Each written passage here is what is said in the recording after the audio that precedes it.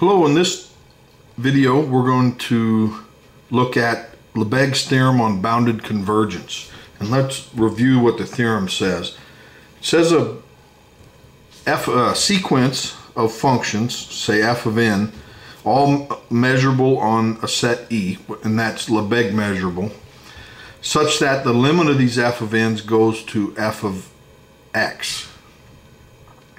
Then the sequence, then if the sequence is un, uniformly bounded, and that means that there's a constant m such that the absolute value of the f of n's are less than or equal to m, and that's for all n, then we have this equation here the limit of the integral is the integral of the limit, which, and then this by definition is f of x.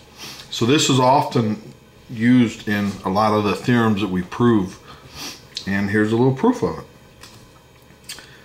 So we know f of x in uniformly bounded by m. And that this limit goes to f of x. Then it follows that f of x is less than m. Then, then uh, f of x is bounded and measurable and thus integrable, Lebesgue integrable. Must show that this is equal to zero.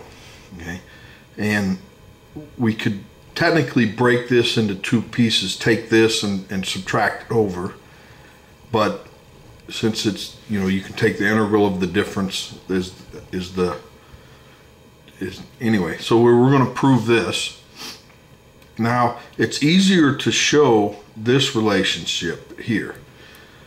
So this is we say is zero. So if we take the absolute value of it and that's going to be less than or equal to the you know bringing the absolute values in. So if we can show that this is zero then this is zero, which implies that this is zero, which implies that this relationship holds. So that's our game plan for this video. Now we're going to set up some disjoint sets here. Now this, this is integrable we assumed on the set E. And now we're going to create some disjoint measurable sets of E in a unique way.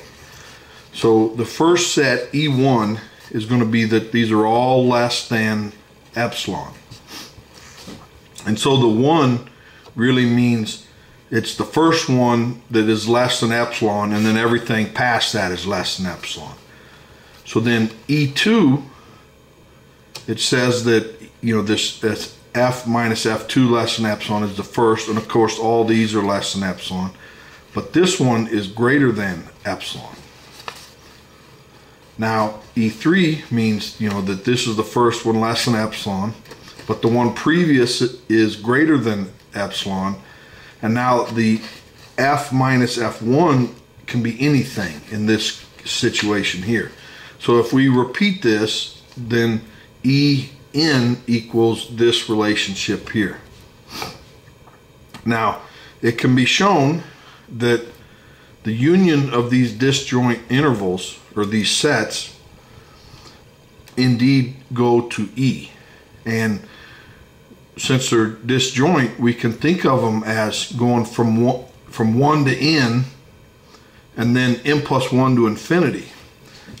and so since this does limit to E,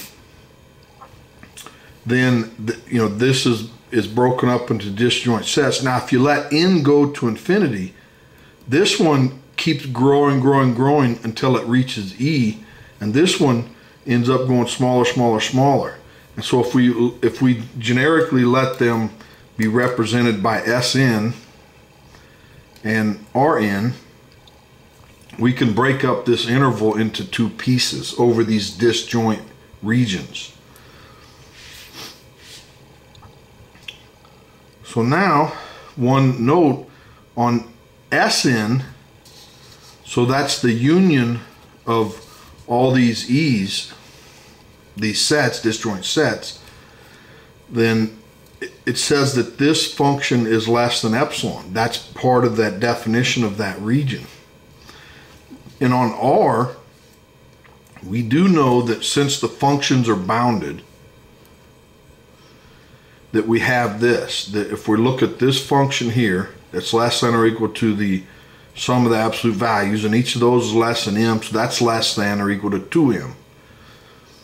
So, so, yeah. So then by the mean value for Lebesgue integrals, we have this. And, and basically what that this says, the mean value for Lebesgue integrals, is that if you look at, and remember this is two pieces, which is this and that. So here, the, the, the measure of Sn is what this is. And then epsilon is actually the upper bound of this, right?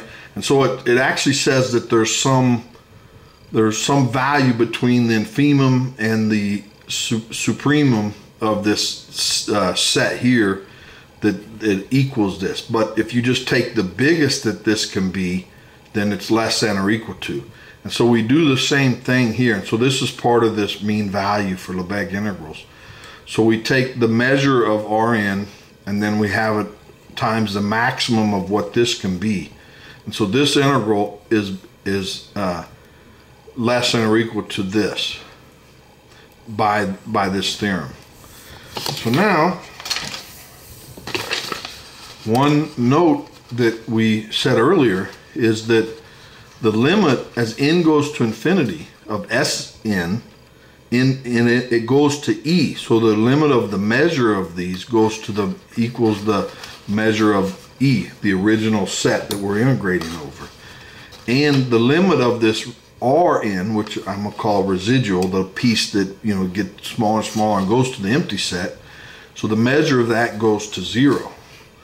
So we have, you know, if we take the limit of this integral, and then it says the lim sup the limit supremum of this is less than or equal to this measure. And that is, and we get that based upon, you know, this. This, this go, the measure of this goes to zero, so it goes away, and we're left with just this here.